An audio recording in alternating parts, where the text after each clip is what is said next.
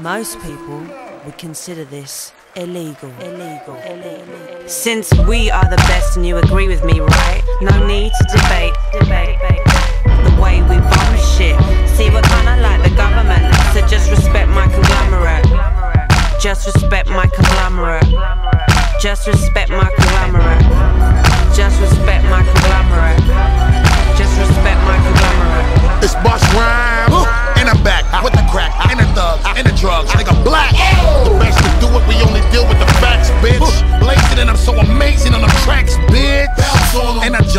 skip and I hop and I flip over niggas like gymnastics. Watch the way I come and I'm giving the streets acid. Bastards, niggas know I'm the king of the classics. Drastic measures, I'm spreading like a rash. Rich classes, in session you about to get your ass kicked. Emperor of every round table in the house. And when I speak, niggas respect me as leader of the councilmen. God rap, God persona, God thriller, God body in the flesh. Call me Godzilla.